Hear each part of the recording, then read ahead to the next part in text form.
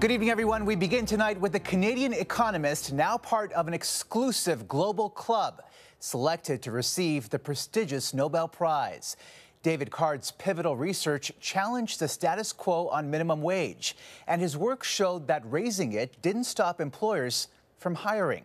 Card got the news just as he was going to bed. I'm standing here in my pajamas. my wife is, is, taking a picture and making, kind of making fun of me. Rather than making fun of you, what I'd like her to do is to send me that picture. Um, we... okay, this guy wants the picture.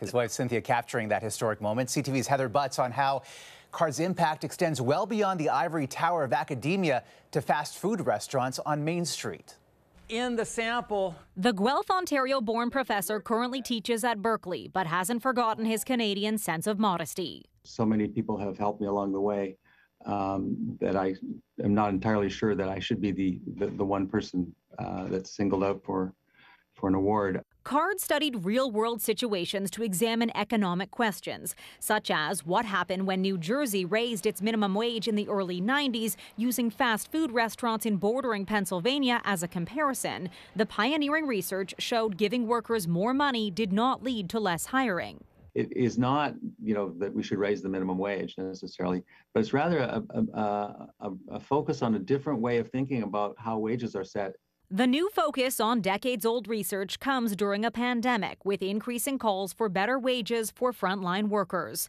Across Canada, minimum wage varies from a low of $11.75 in New Brunswick to a high of $16 in Nunavut. Card's research also concluded immigrants do not lower pay for native born workers. The Nobel Prize Committee is giving permission to the premiers and to the federal government to raise the minimum wage and give millions of people permanent resident status. Uh, but not just because you know immigrants build the economy or increasing minimum wage doesn't hurt the economy, but because we are human beings. His Canadian mild mannerisms has um, contributed to him being um, so well liked.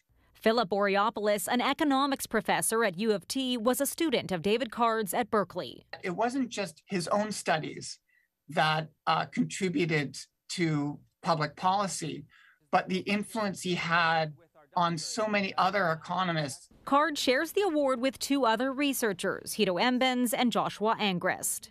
It's an honor to get the Nobel Prize. These three laureates have really fundamentally changed the way empirical research is done in economics.